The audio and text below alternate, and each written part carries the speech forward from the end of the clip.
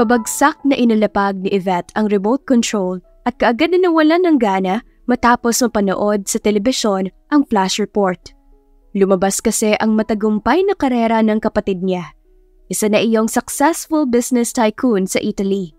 Hindi naman sa pagiging bitter, pero hindi niya iyon maiwasang maramdaman. Mama, siya po ba si Tita Yvonne? Usisa ng batang lalaking nasa kandungan niya. Tumango siya rito at saka ngumiti. Hinagod niya rin ang buhok nito tsaka iyon hinalikan. Siya nga, Johan. Alam mo bang miss na miss ko na siya? Sayang lang, masyado silang malayo sa atin. Naisaad niya at kaagad nang ngumilid ang luha sa kanyang mga mata. Magkamukha po kayo, Mama. Kagaya ni na Johan at Yuli. Me, baka kamukha ko po si Papa. Ang bunso niyang si Yumi ang nagsalita. Nakangiti iyon, bagay para masamid siya at nag-aalangan na tumitig dito. Nasa anim na taon na ang dalawa habang si Yumi naman ay mag-aanim na taon pa lamang dahil ito ang immature noong ipinanganak niya. Nang tapunan niya ng tingin si Yuli, nakatitig lang iyon sa kanya at hindi nagsasalita. Ganon na iyon mula pagkabata pa. Pipe si Yuli at limit din ang taong nilalapitan nito. Yuli, ikaw ang genius sa lahat. Naniniwala ka bang kamukha ng papa ninyo si Yumi? So, agree ka ba? Usisan Yvette sa anak. She attempt to make him speak. Pero, senyas lang talaga ang itinugon nito.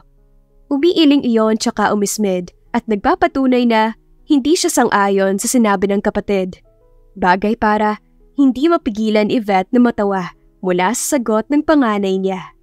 Kinindatan ni Yuli si Johan Tsaka nito kinulikot ang hawak na tablet at palihim nitong tinawagan ang numero ng ina. Nahinto mula sa pagsascroll sa cellphone nito si Yvette. Isang ano number ang tumawag sa kanya, bagay para kumunot noo siya. Tsaka lumayo sa tabi ng kanyang mga anak bago sinagot ang tumawag. Nang umalis ang kanilang ina, ay natawa sa isa't isa ang tatlong bata at ang pasimuno ay ang bunso sa magkakapatid na si Yumi. Hahanapin ko si Papa at sisiguraduhin ko na we're look alike. Konyong sabi ni Yumi. Lumapit si Johan at tumabi sa bunsong kapatid. Right, Mimi. Kaya dapat gumawa tayo ng paraan. Nakita ko sa news, nasa Pilipinas ang big time nating papa. Sang-ayon ba kayo sa naisip ko? Nakangiting asong sabi nito at halos pabulong nitong sabi. Nagkatinginan sila sa isa't isa, tsaka nag-apiran. Tanging larawan ang naging basehan nila at hindi naman iyon itinago ng kanilang ina. Sa murang edad pa lamang ng mga ito ay naiintindihan na nila ang sitwasyon. Magaling kasi magpaintindi ang kanilang ina at pinalaki silang magalang at maging mabuti sa lahat kahit mag-isa lang itong bumubuhay sa kanila. Naaawa ako kay mama. Kaya hahanap tayo ng papa. Muling sabi ni Yumi, bagay para Tumango-tango ang nakakatanda niyang kapatid. Samantala, kunot noon na tinitigan ni Yvette ang hawak na cellphone at inis niyang ibinulsa ang hawak at saka napanguso na sumali sa pwesto ng mga bata. Naroon ang mga iyon at masayang nanunood ng TV. Napabuntong hininga siya. Masaya siya at kahit mag-isa lamang niya binuhay ang mga ito ay lumaking malusog ang pangangatawan. Hindi niya tuloy maiwasang sariwain sa gunita ang nakaraan at naaalala niya mahigit anim na taon na rin ang nakalipas. Nang minsan, napagalitan siya ng kanyang ama, bata pa siya noon, pero may katigasan na ang kanyang ulo. Look, Eve, you're just a 17-year-old teenager but look at you. You're wearing that crap for Pete's sake. Change it, or else you're grounded in one month.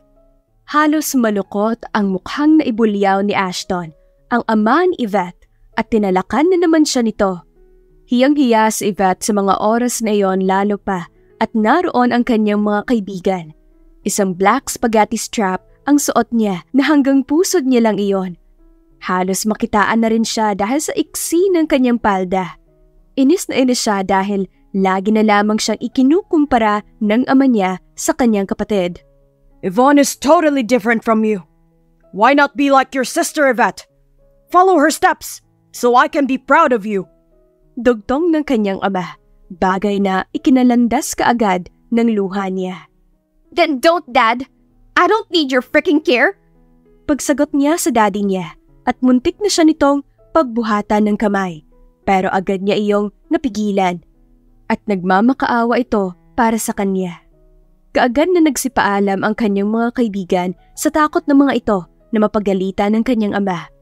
Sinundan ng tingin ng ama niya ang papalayong kaibigan niya at galit siya nitong pinasadahan ng tingin. Sabay waksin ito ng kamay sa hawak ni Yvonne. Kung ganon, I'm sorry, but I will send you to the Philippines whether you like it or not. Mark my words, Yvette Natalie. Pagdidiin ng kanyang daddy at walang paalam siya nitong iniwan. Tila lantang gulay na paupo na lamang sa sofa. Napaupo na lamang sa sofa si Yvette at doon bumuhos ang masagana niyang luha. Galit niyang tinitigan si Yvonne na pumantay sa kanya para sana siya ay aluin. Leave me alone. I don't need you. Singhal niya rito, bagay na ikinatulo ng luha ng kakambal niya. At tumayo ito tsaka patakbong lumayo sa kanya. She hate his dad. Bukod kasi sa masungit ito, ay may isang salita na hindi matitibag kahit magmakaawa pa siya. And she's Yvette Natalie Villar, a spoiled brat and she's obsessed with the things she want to get. A partygoer teenager. Pabagsak na itinapon ni Yvette ang sarili sa malambot na kama. Hilam ng luha ang kanyang mukha at ayaw niyang ipadala pabalik ng Pilipinas. Mga mababait naman ang mga kapamilya ng daddy niya pero ayaw niya naman mawalay sa kapatid kahit na hindi niya ito kasundo. Miss Eve, kumain ka na muna. Kanina ka pa hindi lumalabas. Wika ng katulong nila at yaya na rin niya. Pumasok ito sa silid niya at tumabi sa kanya. Kaagad na pinunasan ni Yvette ang kanyang luha at saka yumakap sa matanda ng mahigpit. Manang, masama ba ang ugali ko? Bakit lagi ako na lang ang madaling makita ni Daddy? I hate him for being so unfair. Iyak nitong sambit. Inaalos siya ng matanda mula sa paghaplos nito sa medyo kulot niyang buhok. Intindihin mo ang ama mo, Yvette. Kaya niya nagawa iyon ay dahil mahal ka niya. Subukan mo ring sundin ang gusto ng iyong ama. Kusang kinalas ni Yvette ang sarili mula sa kayakap at saka pinahiran ang luha nitong nagbabadya na naman sa paglandas. Kung sana, buhay pa si mommy. E di sana, hindi ako nagkakaganito.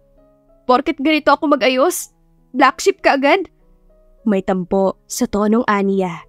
Napabuntong hininga ang matanda at saka ngumiti ng pilit. Muli nitong hinagod ang buhok ng dalaga. Hi, Stivet. Bata ka pa. Tsaka mo lang maiintindihan ang ibig sabihin ng paghihigpit ng daddy mo kapag humantong ka sa tamang edad. Payo nito sa kanya. Hindi na umimik sa Yvette. Alam niya rin sa sarili niya na walang masama sa ginagawa niya. Tama nga at huli na ang pagsasisi niya. Gayunpaman, babawi siya at tatayo sa sarili niyang paa. Kaagad niyang pinahiran ang luha at saka nagpakawala ng buntong hininga. Isang maliit na restaurant ang naipundar niya at unti-unti iyong lumago. Isa rin sa mga best specialties niya ang dinadayo ng mga customers. Malaki ang pasasalamat niya sa kanyang ama dahil sa perang ibinigay nito sa kanya noon para tumira sa Pilipinas at manirahan sa pamilya ng mommy niya. Hindi man ito ipinagmukha sa kanya ang pagkadismayado nito ay ramdam na ramdam naman iyon ni Yvette. Si Yvonne noon, isang summa cum laude at valedictorian habang siya ay asa lamang sa impluensya ng kanyang ama. Ganon pa man, pinili niyang makapagtapos at makuha ang kursong gusto niya mula sa pagbabanat niya ng buto. Nang maalala niya iyon, ay bahagya siyang natawa sa sarili. Tama nga si Manang, na tsaka lamang niya nare-realize ang lahat kapag huli na at nasa eksaktong edad na siya. Nakarami sila ng order at customer sa isang araw kaya solve ang pang-upa at kuryente nila. Libre naman ang tubig kaya itinabi niya ang pera para makapag-ipon lalo. Isang maliit lang na apartment ang kinuha niya na kasya silang apat. Maganda naman iyon at kontento ang mga bata. Ate Eve, kanina pa po may naghahanap sa inyo. Ang sabi babalik na lang daw siya sa susunod na araw. wika ng anak ng landlady nila nang salubungin siya nito kasama ang anak niya. Si Rhyme, ang dalagang nagkusang magbantay sa mga anak niya habang nasa trabaho siya. Para na rin niya itong kapatid, bukod sa maganda ay napakamasayahin din. Pumantay siya sa mga anak at saka isa-isa niya iyong binigyan ng halik. Kinuha niya si Yumi at saka ito kinarga. Yumakap sa kanyang leeg ang anak niya, tsaka siya nito hinalikan sa pisngi. Napangiti siya. Salamat Rhyme ha. Sino nga pala yung naghahanap sa akin? Usisa niya rito. Kaibigan mo raw, Ate Eve? Sige po, aalis na muna ako. Bye mga bata, bukas ulit. Kaagad nitong paalam sa kanila bagay para mahulog siya sa pag-iisip ng malalim. Kaibigan? Baka nga, at malamang si Dennis iyon, ang bakla niyang kaibigan. Mabibo ang mga anak niya, kaso nga lang ay may allergy sa vanilla ang isa sa kanila. Anim na taon pa naman pero kung mag-isip ang mga ito, ay daig pa ang mga investigador. No wonder, may pinagmanahan talaga ang mga iyon. Mama, kailan po ako magkapapa? Si Ate Rhyme kasi may papa siya. Ako wala. Nakangusong na itanong ni Yumi nang nasa higaan na sila at patulog na. Kaagad na napalunok si Yvette. Nakailang ulit na iyong itinatanong ng kanyang mga anak. Noong pinagbubuntis niya ang mga ito, halos hindi buo ang araw niya na hindi tinititigan ang larawan ng lalaki at bunga ng isang gabing kapusukan ang mga anak niya. Baby, di ba ang sabi ni Mama, Maging makontento sa ano ang meron kayo ngayon? Malumanay na wika sa mga anak niya, bagay para tumango si Yumi sa kanya at tumitig ito sa kanyang mga mata. Sorry po, peace. Nakangiti nitong saad at sabay halik nito sa kanyang pisngi. Natawa na lamang siya at nakipagkulitan sa mga anak niya bago matulog ang mga ito. Hindi niya matiis ang mga ito at isang mapait na ngiti ang sumilay sa kanyang labi. Titig na titig siya sa maamong mukha ng mga anak niya. Walang pinagkaiba iyon sa mukha ng lalaking minsan niyang minahal. Bata pa siya noon at masyadong padalos-dalos. Subalit, ang mga anak niya ang blessing para sa kanya. Pipikit na sana siya pero bigla na lamang lumitaw sa gunita niya ang mukha ng lalaking minsan niyang pinagkalooban ng sarili. Mabilis niyang tinampal ang sariling pisngi at winaksi iyon sa kanyang isipan. Matagal na iyon at matagal na niya itong kinalimutan. Dapat lang na tinakasan niya ito para maaga pa lamang ay hindi siya iiyak at masasaktan pa. Ay, tumigil ka Yvette. Maging leksyon sa iyo ang manloloko na yon. Dapat lang nakalimutan mo siya. Tama, anim na taon na at malamang ikinasal na yon sa dragona niyang kabit. Tss, Pangungumbinsin niya sa sarili at bumangon muli ang galit niya sa lalaking iyon. Halos hating gabi na bago pa man siya dalawin ng antok. Nang sumunod na araw, wala si Rhyme, bagay para walang mapagpipilian si Yvette kundi isama ang anak niya.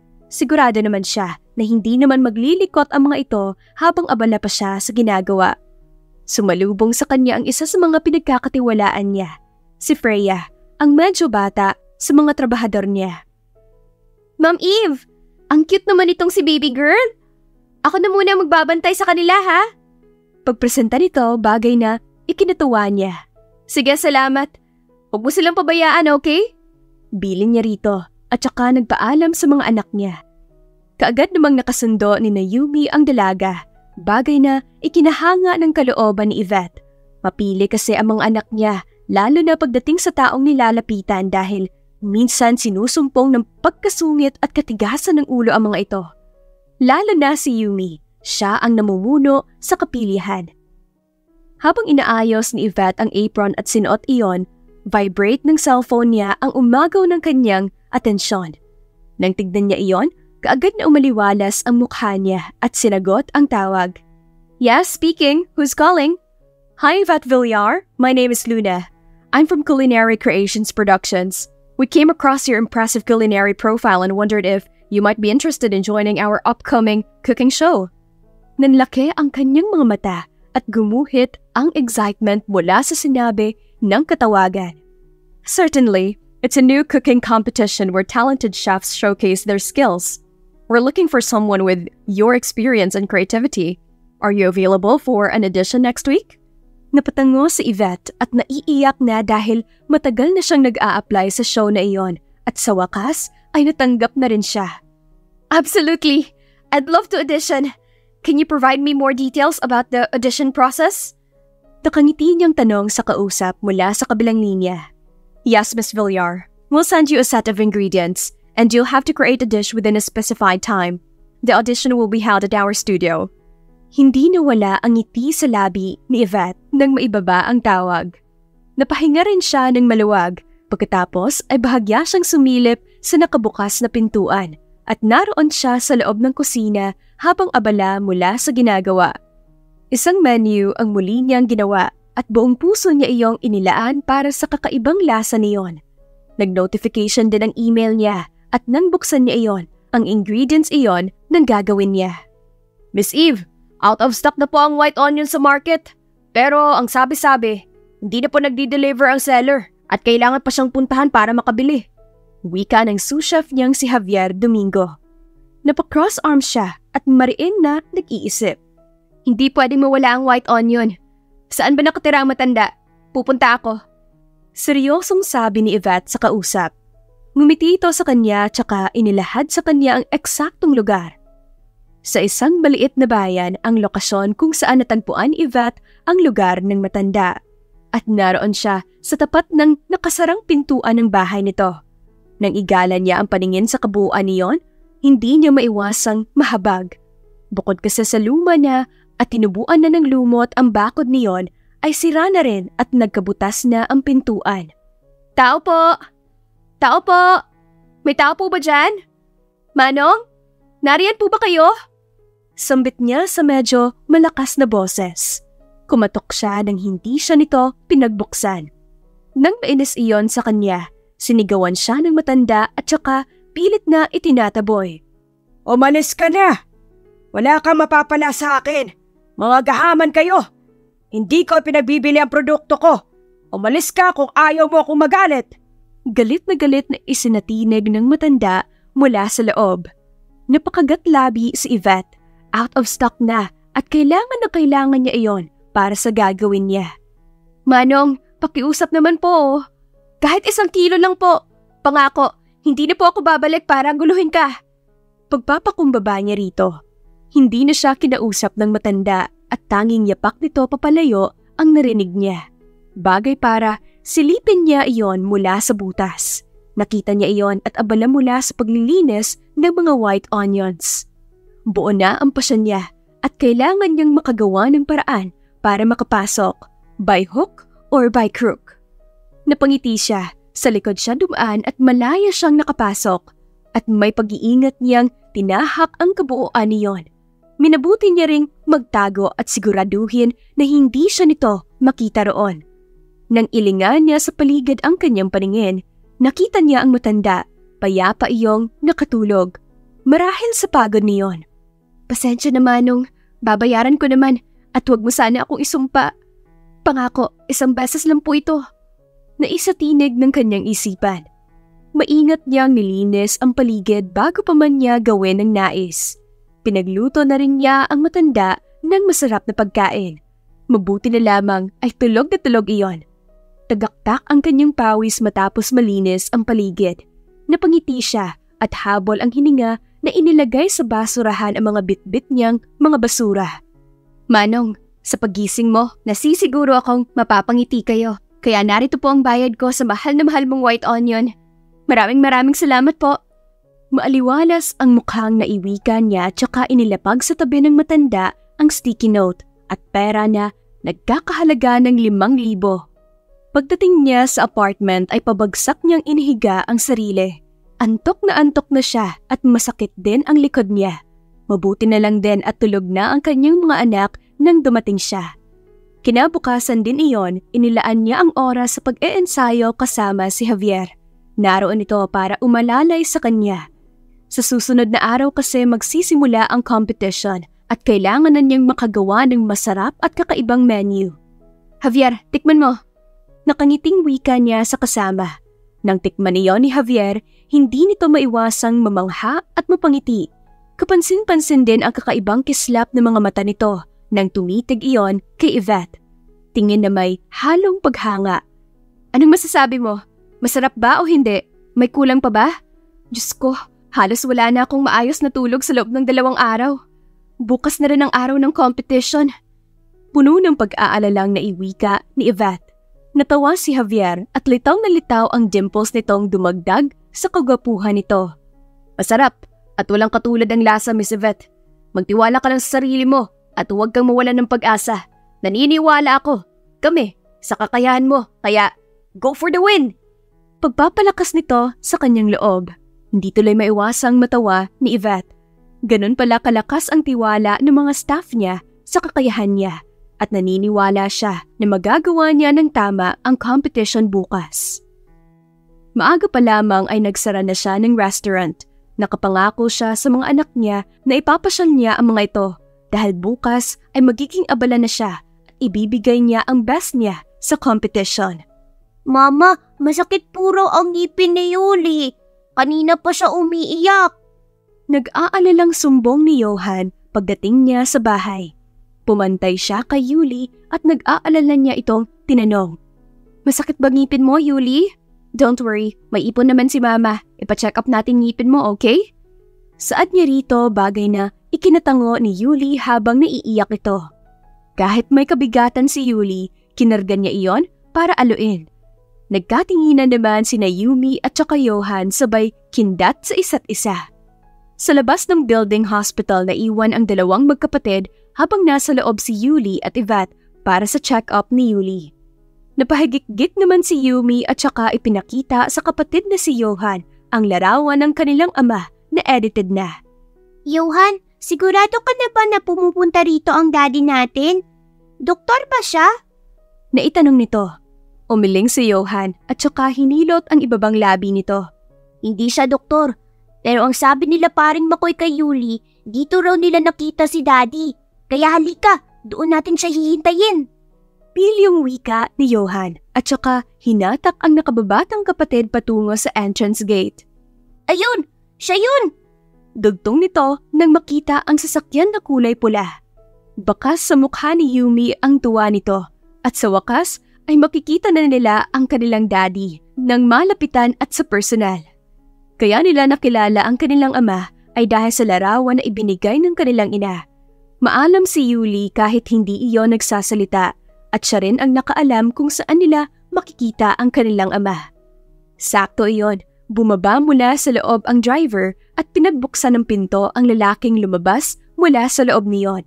Napanganga at hangang-hanga si Yumi sa kanyang ama nang tuluyan itong bumaba. Daddy!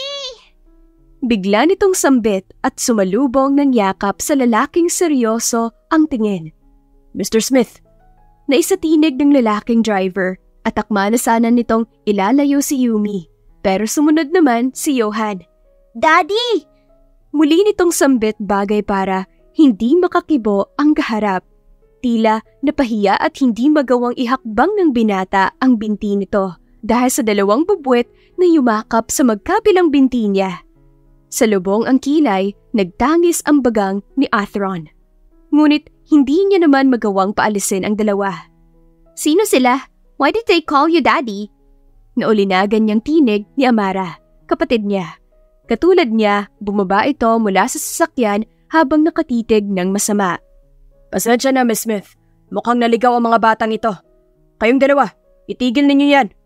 Sige na, umalis na kayo.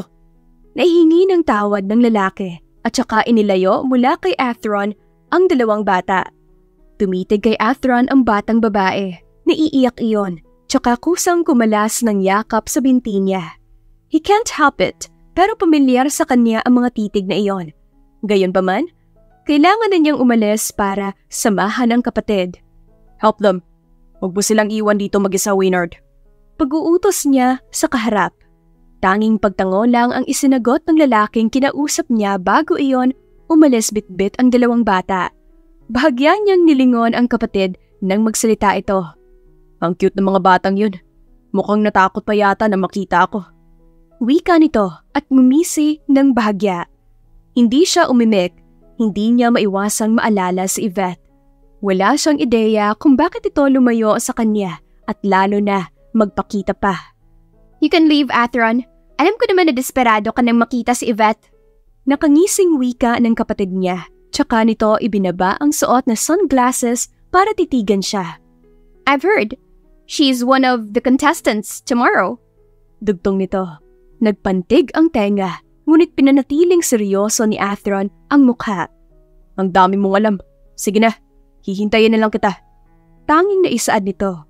Umalis ang kapatid niya habang nakangiti iyon sa kanya ng pilya. He heaved a sigh. Marahan niya ring hinagod ang ibabang labi para pag-isipan ang gagawin. Hindi niya mawari pero masaya siya mula sa nabalitaan. Alam niyang wala sa bokabularyo ni Amara ang pagsisinungaling. Nakabusangot ang mukha, hindi umiimik si Yumi nang kausapin ni Yvette. Nagtataka ito dahil sa biglaang pagsusungit ng anak. Yumi, may problema ba? Kapag hindi mo ako kakausapin, walang ice cream na mangyayari.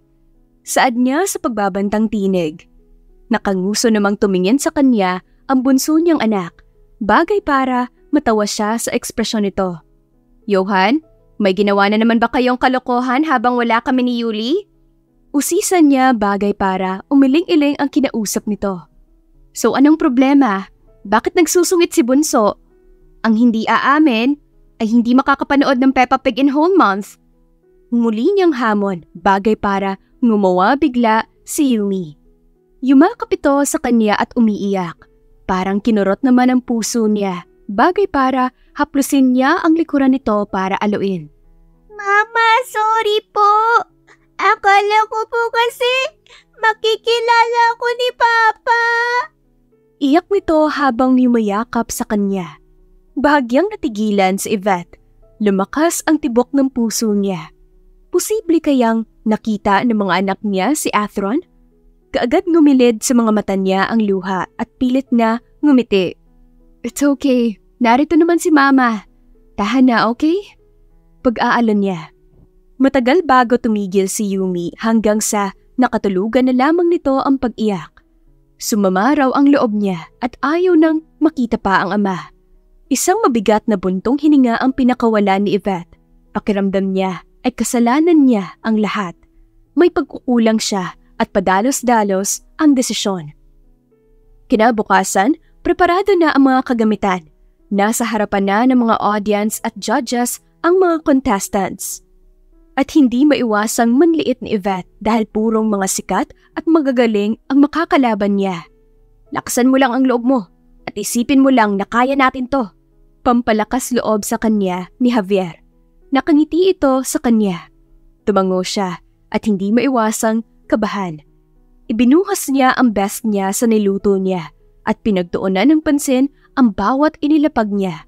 Si Javier naman ang umaalalay sa kanya at iniabot ang bawat kagamitan niya. Ilang minuto ang itinagal, pinatigil ang lahat ng mga contestant dahil umabot na ang takdang oras. May hindi kaagad nakatapos, meron namang umabot. Sila naman ay saktong nakatapos. Ang galing mo! Puri sa kanya ni Javier bagay na ikinalawak ng kanyang ngiti nang tumingin dito. Kinakabahan ako. Naisambit niya rito. Bahagya siyang natigilan nang maramdaman niya ang paghawak ni Javier sa kanyang kamay. Hindi siya umimik at ngumiti lang dito. Kalaunan, nagsimula nang mag-announce ang MC para ipakilala at batiin ang kanilang special guest. Bumukas ang malaking pintuan. Kasabay niyon ang pagpasok ng isang lalaking may matikas na postura. Good morning everyone! We have a treat for you today. Our special guest needs no introduction. The young billionaire, Athron Cuerva. Let's give him a warm welcome, everyone. Nang humakbang patungo sa stage ang lalaki, napuno ng excitement ang mga audience habang hindi makapaniwala si Yvette mula sa kanyang nakita. Tila yata nakakita siya ng multo at gulat na gulat. Her nerves escalate when she realizes he will be judging her culinary creations. Kinakabahan at pasalamat na lang din si Yvette dahil hindi siya pinagtuunan ng pansin ni Athron. O baka nga wala siyang interes na sulyapan siya. Alam niyang nakita siya nito kanina dahil tumitig muna iyon sa kanya. Nakakahanga talaga siya. Ang bata pa, pero bilyonaryo na. Sigurado ako, magugustuhan niyang niluto mo, Eve. Nakangiting bulong sa kanya ni Javier. Nilalaro-laro niya ang kanyang hintuturo dahil sa tensyon. Dahil iniisa-isa na nilang ipinatikim ang kanilang menu sa mga judges at siya ang panghuli sa mga kalahok. Kinakabahan man pero nilakasan niya ang loob, humakbang patungo sa pwesto ng mga ito at iniiwasan na makipagtitigan sa binatang seryoso lang din ang ekspresyon ng mukha. Athron tasted Yvette's dish and raised an eyebrow. Tila hinihintay ng lahat ang maging reaksyon nito dahil bukod sa kanya ay nakangiti ang ibang judges. Nakangiting tumango sa tapat ng mesa ng binata ang MC tsaka iyon nagtanong. Mr. Athron Cuerva, how does Miss Villiers' creation tasted? Bahagyang tumigil sa paguya si Athron while expressing his disappointment. Well, it's quite ordinary. The taste is common. Nothing extraordinary. Napasinghap ang mga nanonood at maging ang kapwa judges ay halos hindi makapaniwala sa naging sagot nito. Ngumilid kaagad sa mga mata ni Yvette ang luha at hindi kumurap habang nakatitig kay Athron. Kumuyom ang kamao at bumangon ang galit para sa binatang kaharap. Nginisihan siya ni Athron at kasabay niyon ay ang pagluwa niyon ng kanyang tinikman, gamit-gamit ang tissue. And I must say, the use of white onion instead of garlic was a misstep. It significantly impacted the flavor profile. I'm afraid I have to disqualify this dish. Pagpapatuloy pa niya, bagay upang magtangis ang panga ni Yvette. Tila umurong ang luha niya ayaw niyang magmukhang mahina sa harapan ng lalaking ito at hindi siya ipinanganak para lamang hiyain at malaitin. Bagamat masakit sa loob niyang tanggapin iyon, ay ngumiti lamang siya para depensahan ang kanyang sarili. Naglakas loob siyang tumayo sa harap at titig na titig kay Athron. Wait, Mr. Athron Cuerva, please allow me to explain. I deliberately chose the white onion because, in my culinary experience, It adds a unique depth of flavor to the dish. Tumitig sa kanya ng masama si Athron habang nakataas ang kilay nito. The MC, sensing a turn in the atmosphere, encourages Yvette to elaborate. Lakas loob na nagpatuloy si Yvette habang nakatingin iyon sa mga audience at inilipat sa mga judges ang paningin. White onions have a milder and sweeter taste compared to garlic, enhancing the overall balance of flavors. It might not be conventional, but it brings out a distinct quality in the dish that sets it apart. Hindi makaimik si Athron. Hindi niya ubod akalain na dedepensahan ni Yvette ang sarili. At sa bagay na iyon, ay ngumisi lamang siya at tumango.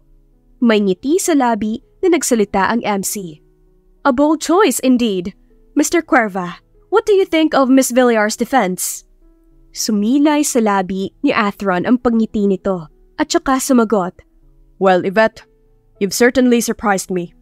I appreciate your creativity in the kitchen. While it may not be to my taste, I can respect the intention behind your choice. Nabuhayan ng loob si Yvette at ang kaninang nawalan ng pag-asa ay pinalitan niyon ng kagalakan. A tough judgment indeed. Let's give Miss Yvette Villar a round of applause for her effort.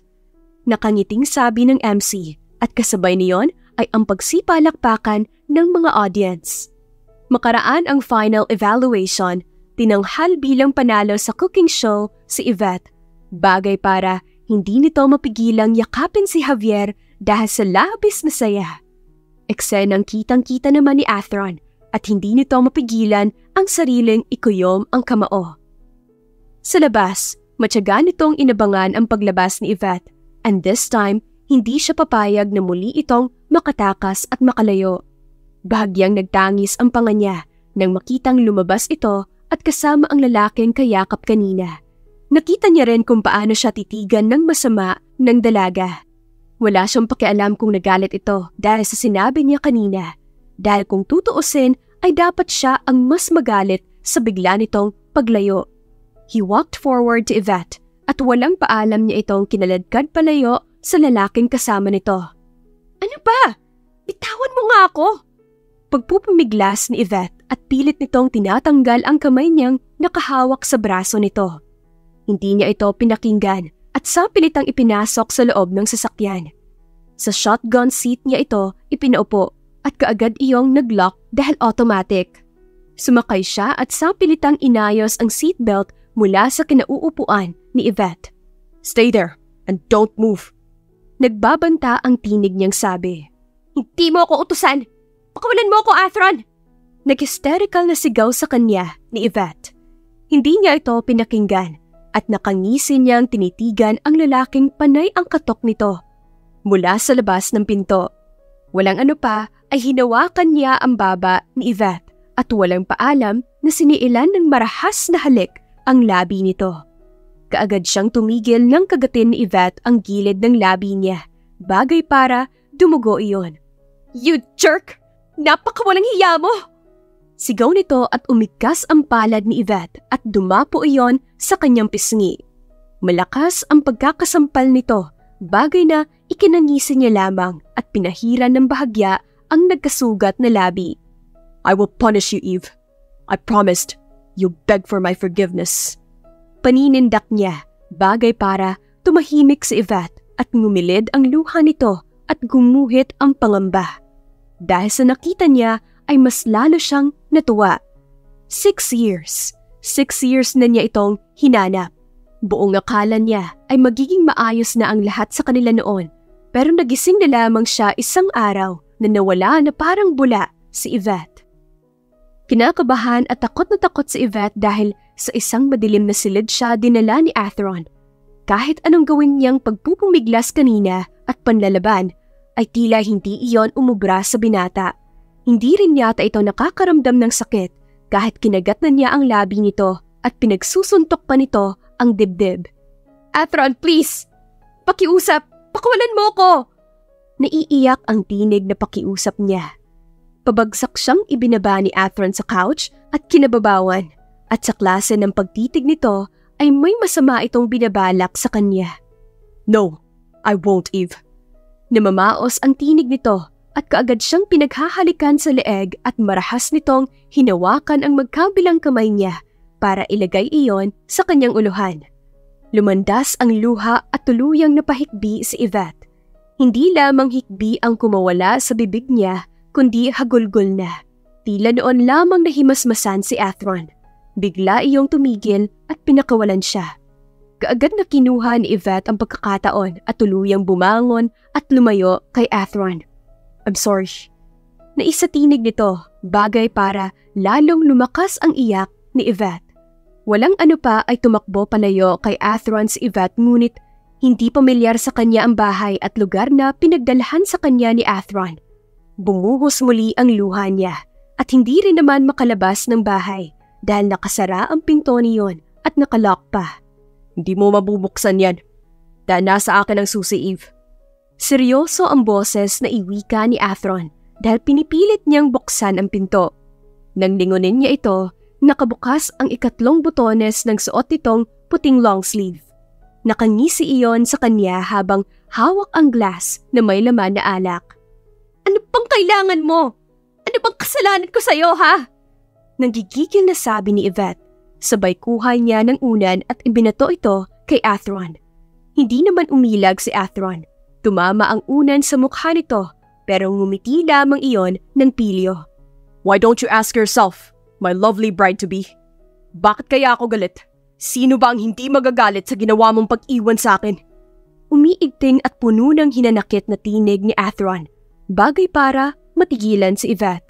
Kalaunan ay natawa siya at lumandas ang luha. Ako ba ang may kasalanan? Ha! Ang kapal mo talaga!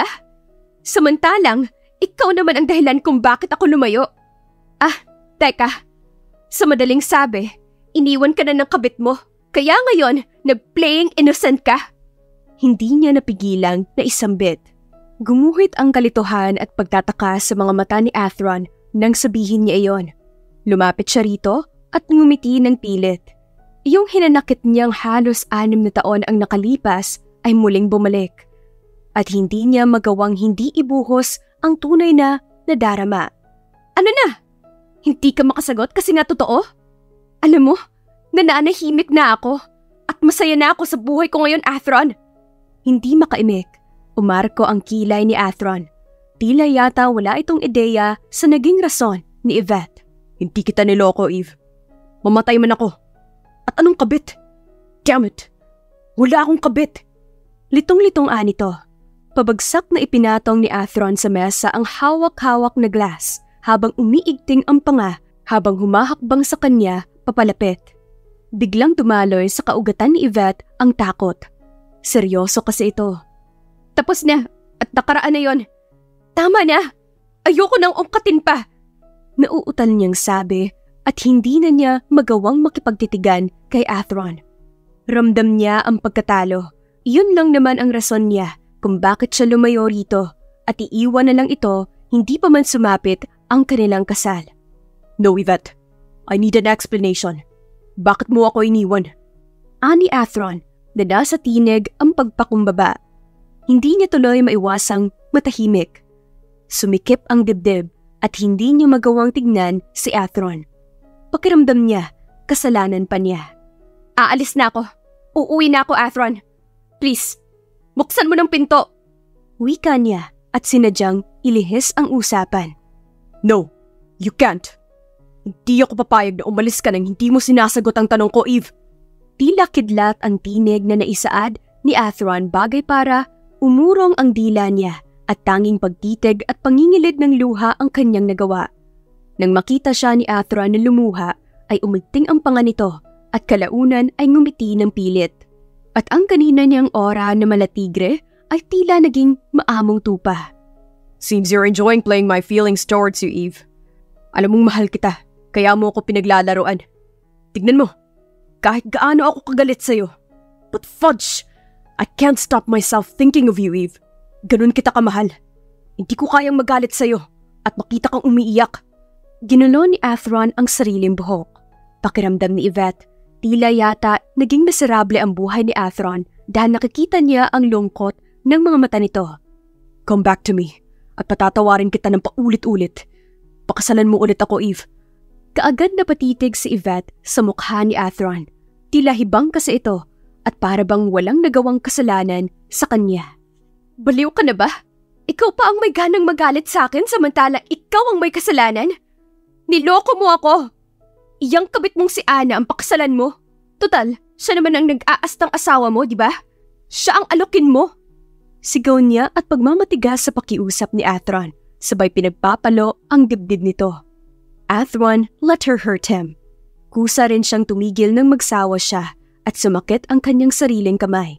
Masyadong matigas kasi ang dibdib nito. Nang tumigil siya, ay ikinulong siya ni Athron sa mga bisig nito. Wala kaming relasyon ni Ana, Yvette. She's one of my obsessed exes. And I'm sorry about that. Nasabi ko na sa'yo noon na wala akong ibang nararamdaman sa mga babaeng dumaan sa buhay ko. Dahil tanging ikaw lang. Ikaw lang ang nagpapatibok ng puso ko, Eve. Please, come back to me. Natahimik si Yvette. Hindi niya alam kung paniniwalaan niya ba si Athron.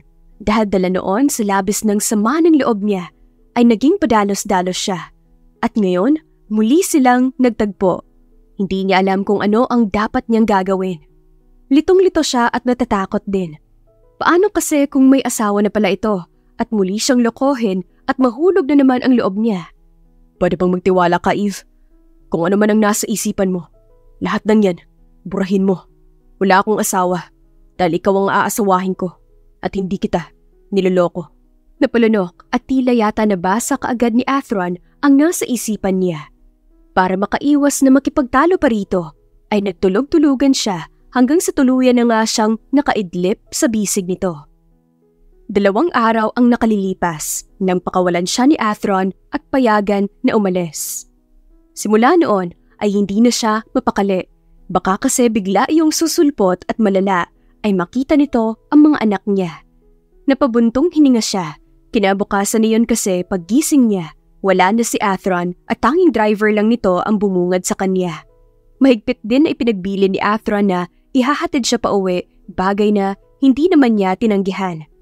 Ate Eve, sa susunod na araw pala ang family day sa school nila Yuli. Nagpapasabi ang mga teacher na kung maaari ay ikaw daw ang pupunta. Sambit ni Rhyme nang maihatid ang mga anak niya. Maraming salamat. Don't worry. Ako na rin muna maghahatid sa kanila sa school. Si Javier na rin kasi ang inatasan ko muna mamahala sa restaurant. Nakangiting sagot niya sa dalaga. Gumuhit ang ngiti sa labi ni Rhyme at pinamulahan ito ng mukha nang marinig ang ngalan ng binata. Ate, pwede ba akong mag-apply? Kahit po bilang tagahugas lang ng pinggan.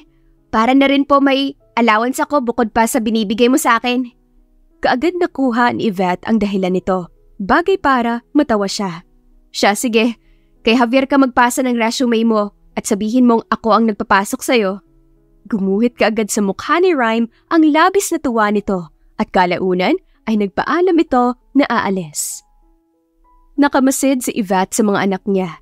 Nakapagluto na siya ng umagahan ng mga ito at naroon siya sa kusina. Malayo ang tanaw at natutulala siya. Hindi niya kasi aakalain na ganun ang mangyayari sa muling pagkikita nila ni Athron. Napailing siya at pilit na binubura ang imahe ni Athron sa kanyang isipan. Kaagad niyang napahid ang ibabang labi na tila ba naiwan pa roon ang mainit nitong hininga.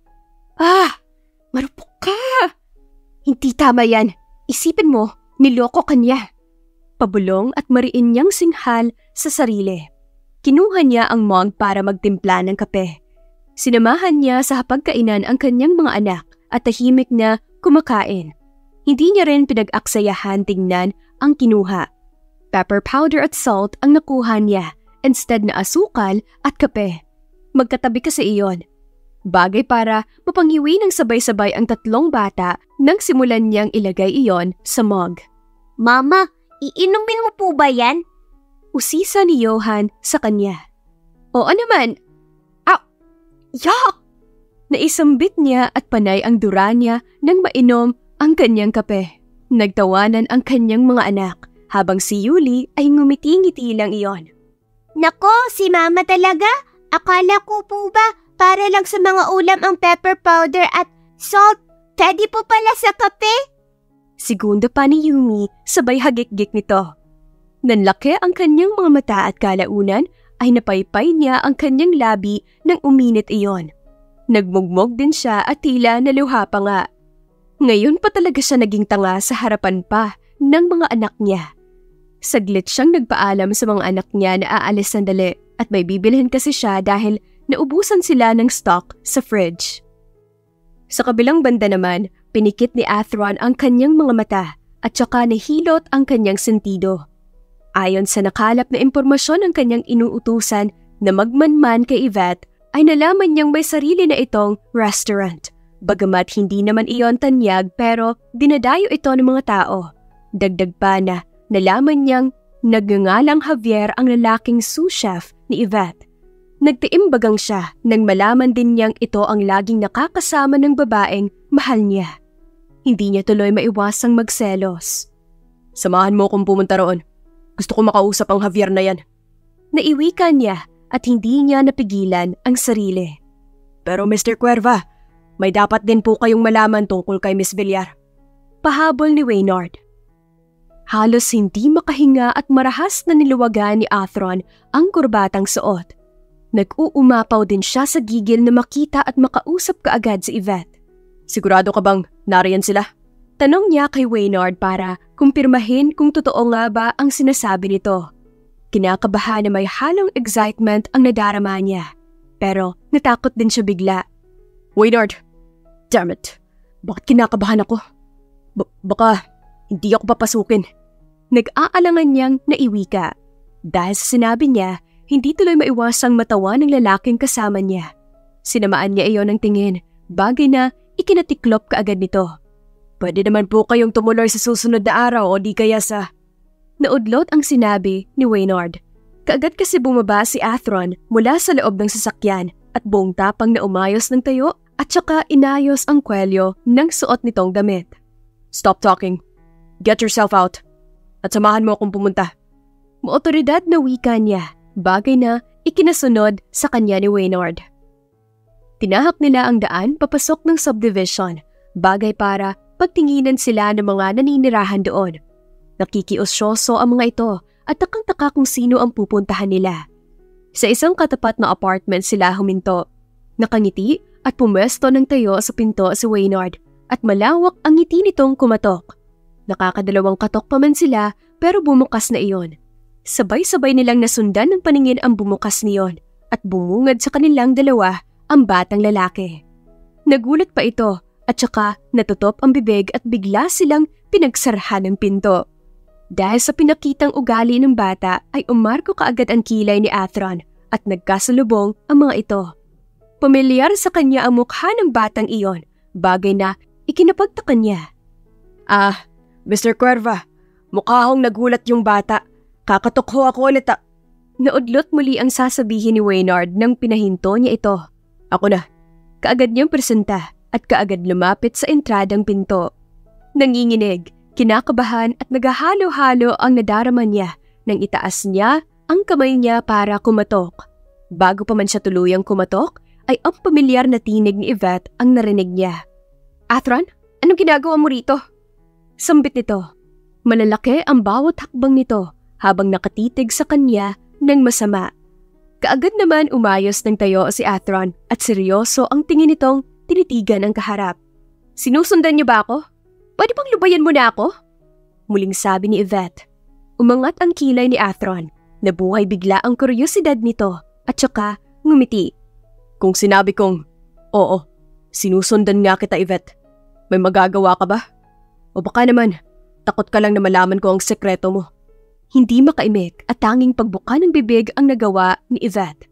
Pakiramdam niya sa mga sandaling iyon ay biglang lumiit ang mundo niya. Kaagad niyang itiniklop ang bibig at saka iniwas ang paningin. Bahala ka kung ano ang gusto mong isipin, Athron. Wala akong inilihim sa'yo.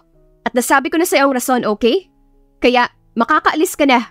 Dahil sa sinabi niya, ay sumilay sa labi ni Athron ang nakakalokong ngiti nito. Really? Paano kung ayaw kong umalis? Ah, tama. Dito na lang din ako lilipat.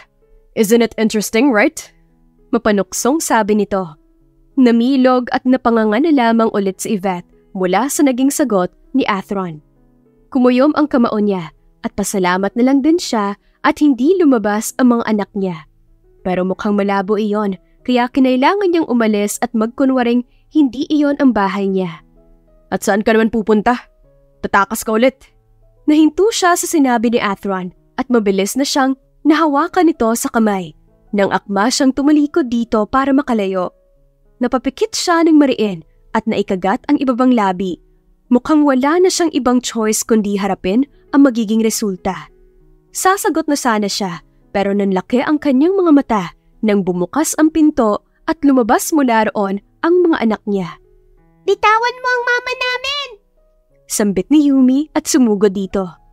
Sinipa nito ang binti ng ama, bagay para mapangiwi si Atheron. Mabilis naman itinago ni Yvette sa kanyang likuran ang mga anak niya. Ma- may, may anak ka? S- sila ba ang mga anak mo? Gulat at namimilipit sa sakit na usisa ni Athron dahil hindi ito makapaniwala. Umalis ka na! Ayaw namin sa'yo! Bad guy ka! Inaway mo ang mama namin! Muling sabi ni Yumi habang yakap nito ang ina. Natawa at hindi maintindihan ni Athron ang sarili. Baby, hindi ko inaaway ang mama mo. Siya nga ang nang away sa akin at nang iwan sa akin. Hindi napigilang na isabi ni Athron. Bigla itong nagalit at gumuhit ang masama nitong tingin ng titigan si Yvette. Sinong ama nila? Kaya ka ba umiiwas sa akin dahil may asawa ka na? Hindi niya napigilang pagtaasan ng boses si Yvette. Umikas ang palad ni Yvette at dumapo iyon sa pisngi ni Athron. Masama rin ang titig nito sa kanya. Bago mo ako paratangan, ugaliin mo munang magtanong, Athron. Ngayon, kung ang iniisip mo ay ganoon akong klaseng babae, makakaalis ka na at bahala ka kung anong iisipin ang gagawin mo. Nahimasmasan at kaagad na hinarang ni Athron ang sarili nang aalis na sana sa harapan niya si Yvette kasama ang mga bata. Eve, ako ba? Sabihin mo, ako ba? Ha? Napatitig si Yvette sa mga mata ni Athron at napalunok siya nang lumuwag ang pagkakayakap sa kanya ni Yumi at may awa ang mga mata nitong tumingin sa lalaking kaalitan niya. Hindi niya nagawa pa itong pigilan nang maglakad ito patungo kay Athron. Daddy? Sambit nito. Sumunod kagad si Johan at muling yumakap kay Athron. Nang sandaling iyon, halos malusaw ang puso ni Athron. na para bang musika sa kanyang pandinig ang mga katagang iyon. Laking gulat na lamang ni Yvette nang bumukas ang pinto at nakatayo mula roon si Yuli.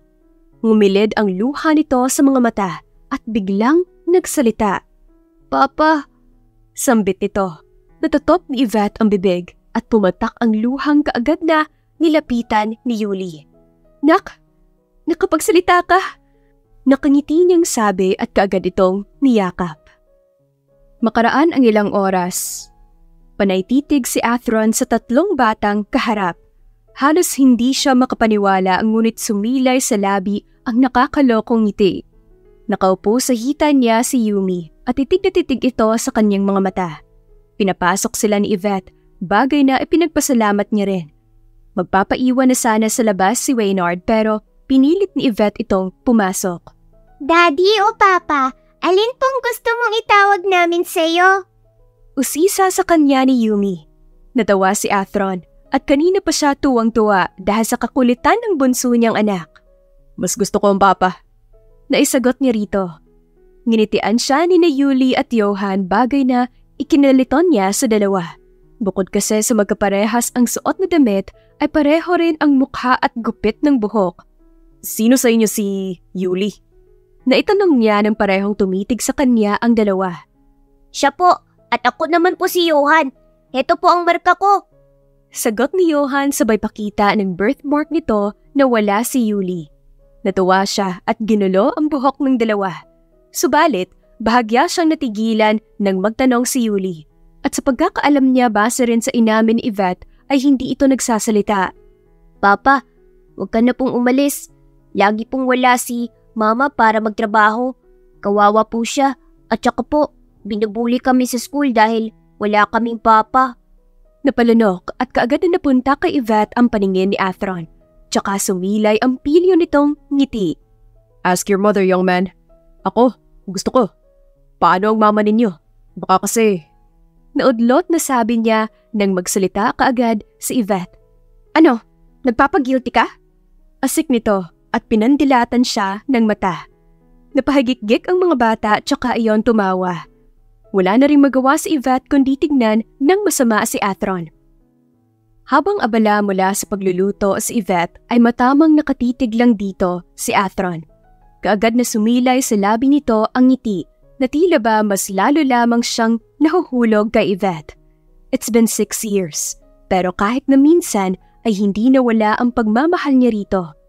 Kahit pa na nilayasan siya ni Yvette one month na lang bago ganapin ang kanilang kasal noon.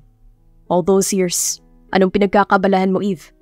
Minsan ba, naisip mo na gusto mo akong puntahan? Hindi ka ba nahirapan nang ipanganak mo sila? Hindi niya napigilang na itanong dito nang ilapag ni Yvette ang mga niluto nito para sa dinner.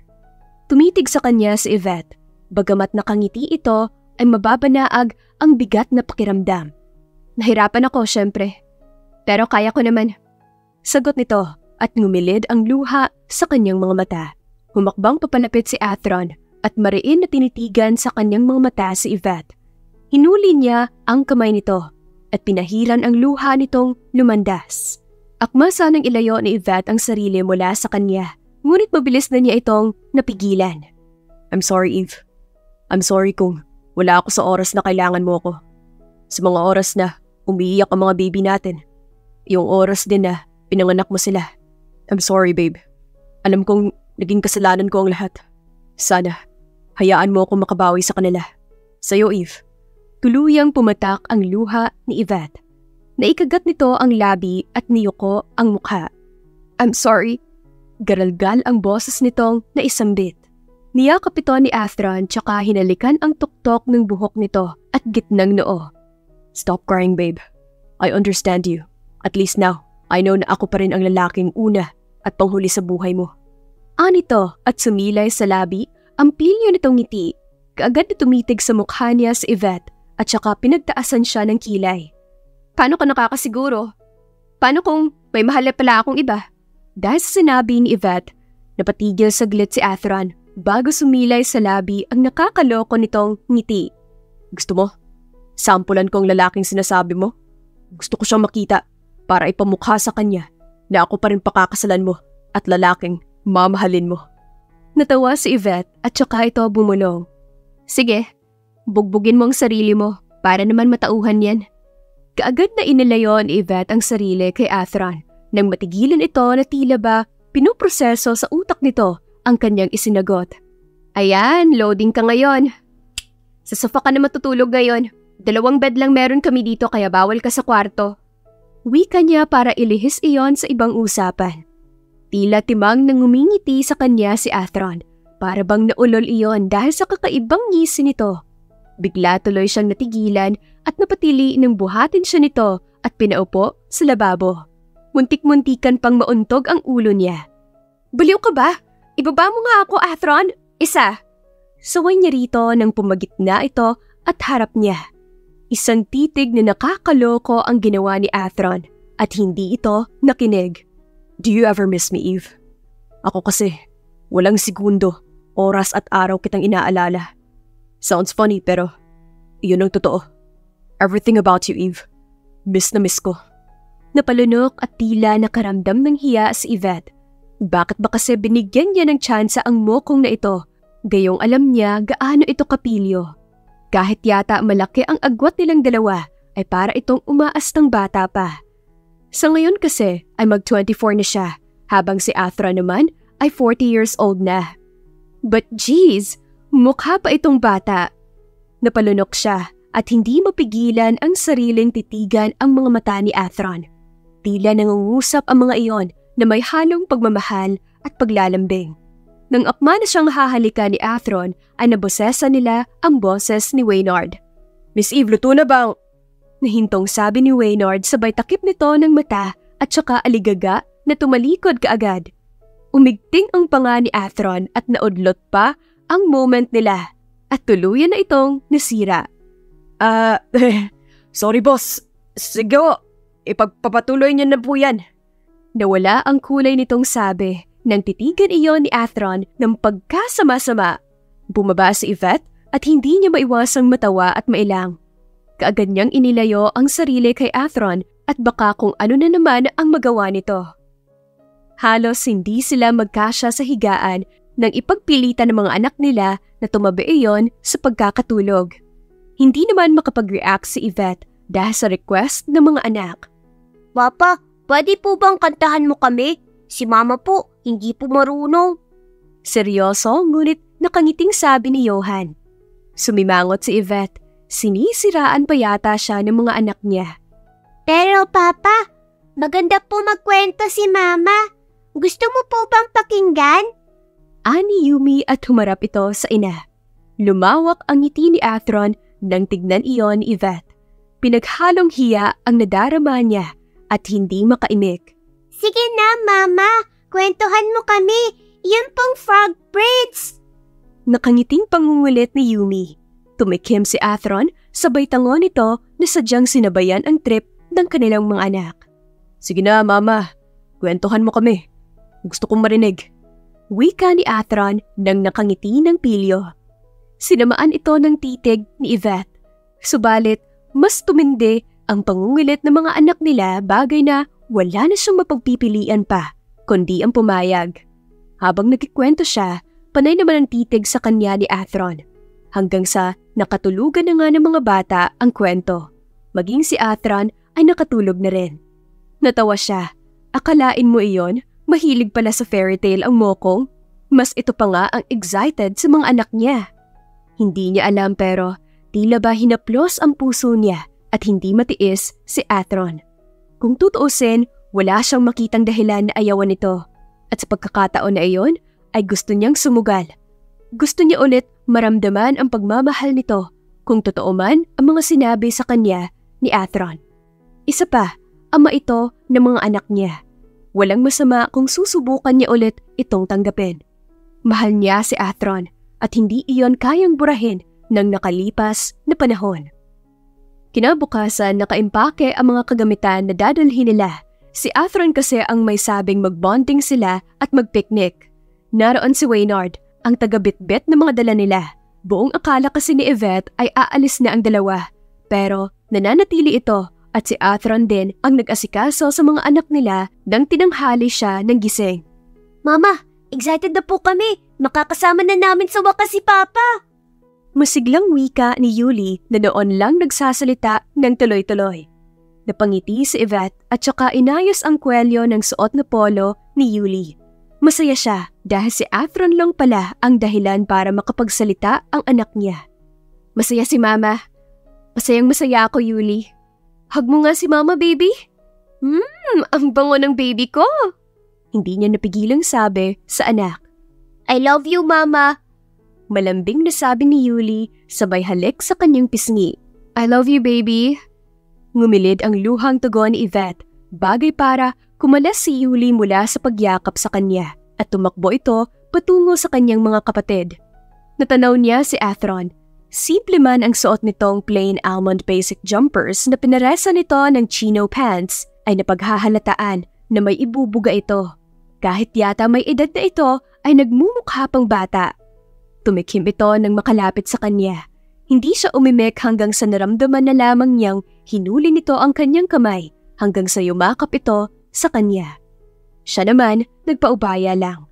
Eve, maiksing sambit ni Athron. Hmm? Tugon niya at hinayaan itong yakapin siya. Nadaman niya ang paghinga ni Athron, bagay na ikinangiti niya. Muling bumalik sa kanya ang pakiramdam gaya noon, nung humaling na humaling siya kay Athron. Nagawa pa nga niyang tumakas sa bahay nila noon para lang makipagkita rito. Thank you, Eve. Salamat dahil ikaw ang naging ina ng mga anak ko. Nagigilty ako. Hindi ko kasi sila nasubaybayan. At saka nung makita ko sila sa labas ng ospital sana, doon pa, naging maganda sana ang impresyon ko. Natawa siya at saka napanguso. Kasalanan ko rin naman Naging padalos-dalos ako. Nahihiya rin ako sa mga magulang mo.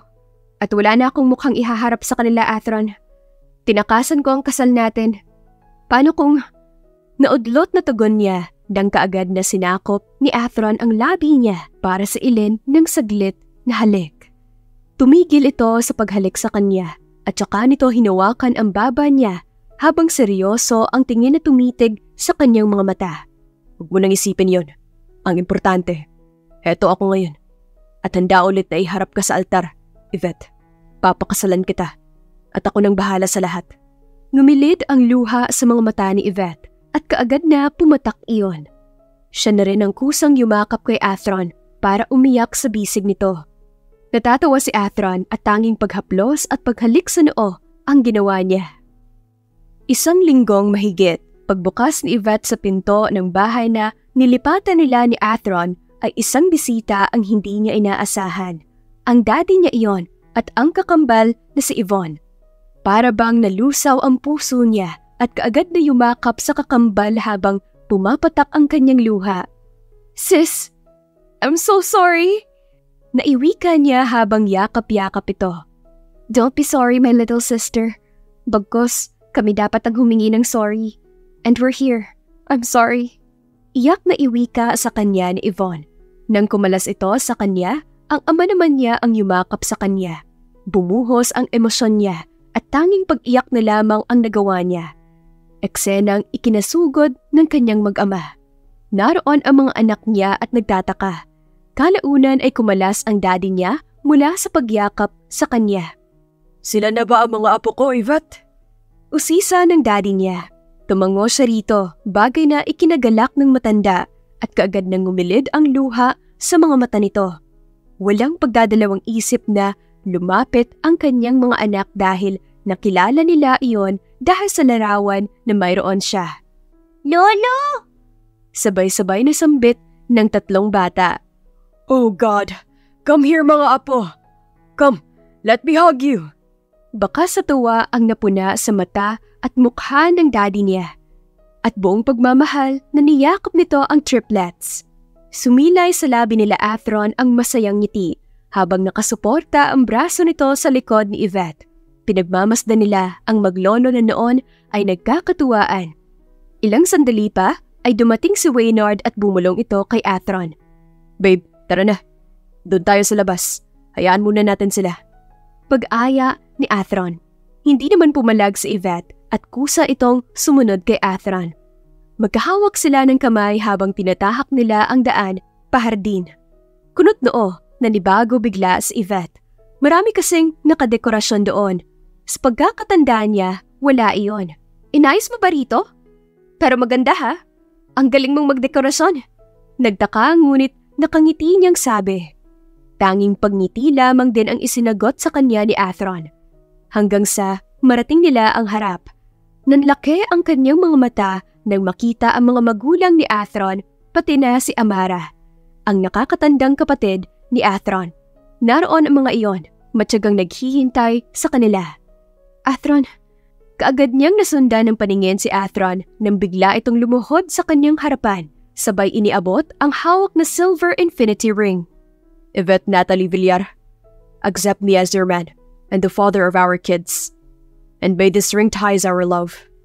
Please, payagan mo akong pakasalan ka at makasama hanggang sa pagtanda ko. Tears of joy Tinanggap kaagad ni Yvette ang proposal ni Athron.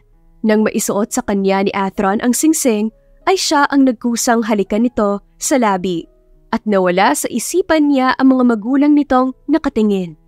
Natauhan lamang siya nang ipaputok ni Waynard ang hawak-hawak nito at ang pagtitili ng kanyang mga anak dahil sa labis na tuwa.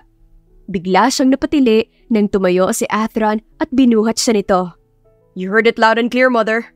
I will marry her again and again. Pagyayabang ni Athron, bagay na ikinatawa ng mga magulang nito. Ang pagtango ng mga ito ang hudyat na pumayag ang mga iyon sa desisyon ni Athron. Bagamat nahihiya ay napapangiti na lamang si Yvette. Sure na sure na siya na sasamahan niya hanggang sa pagtanda ang nag-iisang lalaking mahal niya. Si Athron Cuerva, the love of her life. She believed, young love True Love. Wakas.